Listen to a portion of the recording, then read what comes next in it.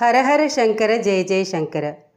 ஒரு யோகி மோட்சத்துக்கு போகிற வழியில் அவனோட களைப்பை போக்கி உற்சாகம் கொடுக்கறதுக்காக இறைவனால் படைக்கப்பட்டவை தான் சித்துக்கள்.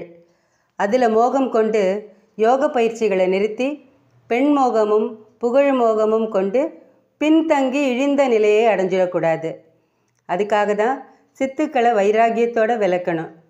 அதோட கடவுள் மீது பூரணமான நம்பிக்கை வைக்கணும். வீடு கட்டுறச்சு சிமெண்ட் பூசுறதுக்கும் பெயிண்ட் அடிக்கிறதுக்கும் பலகை மூங்கில் இதால் சாரம் கட்டுறோம். அந்த சாரத்து மேலே நின்றுட்டு தான் வீடு கட்டி முடிக்கிறோம். ஆனால் வீடு கட்டினதுக்கப்புறம் சாரத்தை எல்லாம் எடுத்துடுறோம். இல்லைன்னா அந்த வீட்டோட அழகே போயிடும். அந்த மாதிரி யோக மாளிகையை கட்டுறச்சு உற்சாகம் கொடுக்கறதுக்காக சித்துக்கள்லாம் வருது. அதை நாம் ஒதுக்க கற்றுக்கணும் கடவுள்கிட்ட பரிபூர்ணமாக சரணாகதி அடையணும்.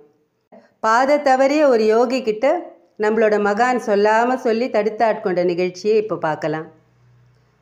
ஒரு நாள் அஷ்டமா சித்திகளும் கைவரப்பெற்ற ஒருத்தர் மகாபெரிவாளை சந்தித்து என்னால் வானத்தில் பறவை மாதிரி பறக்க முடியும்?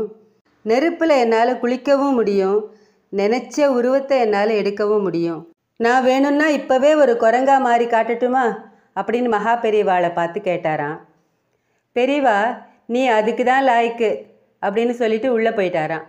இதை கேட்டதும் அவருக்கு சுளீர்னு ஏதோ ஒரு உண்மை புரிஞ்சுது.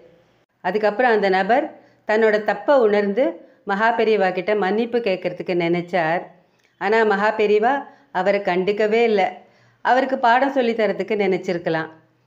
முதல்ல அந்த நபரை மகா பெரியவா அனுமதிக்கவே இல்லை. ஒரு நாள் முழுக்க அவர் வெளியிலேயே காத்துட்டு இருந்தார். நிஜமாவே அவர் மனசு மாறிட்டார் அப்படிங்கிறத உணர்ந்த மகான் மனசு இறங்கி அவரை தன்னை பார்க்கறதுக்கு அனுமதி கொடுத்தார். அவர்கிட்ட இந்த சித்திகள் சர்வசாதாரணமாக கிடைச்சிடுமா? உன்னால் என்னெல்லாம் பண்ண முடியுமோ அது என்னாலேயும் பண்ண முடியும். ஆனால் இந்த சக்திகள்லாம் கிடைச்சிட்டா நீ கடவுளாயிட முடியுமா கடவுள் மேலே அபார நம்பிக்கை வச்சு யோக பயிற்சிகளை பண்ணுறச்சே தான் சித்திகள் அவனை தேடி வரும். சித்துக்கள் நம்மளை யோக பாதையிலேருந்து விலக்கி மாயையாகிய காட்டுப்பாதைக்கு அழைச்சிட்டு போயிடும். அதுதான் இப்போவும் நடந்திருக்கு. நீ இப்போ எட்டு சித்திகளுக்கும் அடிமையாக இருக்க. ஆணவத்தால் இறைவனை கைத்தொழவே மறந்துட்ட. அந்த கடவுள் மனசில் நினச்சா ஏன் நான் நினச்சாலே உன்னோட சக்திகளை ஒரு நொடியில் பறிக்க முடியும். பரிணாம வளர்ச்சியில் நாம் குரங்குலேருந்து மனுஷனானோம். ஆனால் நீ திரும்பியும் குரங்கா மாறுறதுக்கு முயற்சி பண்ணுற இது அறிவு இருக்கிற ஒருத்தன் செய்கிற செயலா? அப்படின்னு எட்டு சித்திகளால் சித்தம் கலங்கி அந்த சாதகர்கிட்ட மகா அறிவுரை கூறினார்.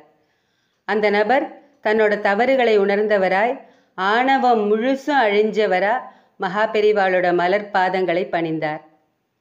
மகான்கள் சித்துக்களை எல்லாம் வரவேற்கிறது இல்லை காலங்களும் யுகங்களும் மாறினதுனால மனித நேயம் குறைஞ்சிடுத்து. சிலர் சித்துக்களை செஞ்சு வித்தை காட்டி பொருள் சம்பாதிக்கிறா.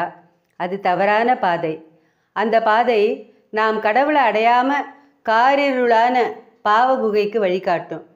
இதை தெரியாதவாளுக்கு உபதேசிக்கிறதுக்காகவும் சரியான பாதையை காட்டி ஆட்கொள்றதுக்காகவும் மகான்களும் சித்த புருஷர்களும் அவ்வப்போது அவதரிக்கிறார்கள். நம்மளோட ஆச்சாரியாரும் அதைத்தான் செய்திருக்கிறார். சித்துக்களில் மயங்காமல் கடவுளோட பாதார விந்தங்களை வணங்கி முழு ஈடுபாட்டோடு நாம் போனோன்னா மேலே மேலே அடுத்த அடி நமக்கு வந்துட்டே இருக்கும். ஸ்ரீ மகா பெரிவா திருவடிகளே சரணம். ஹரஹர சங்கர ஜெய ஜெய சங்கர. காஞ்சி சங்கர காமகோட்டி சங்கர.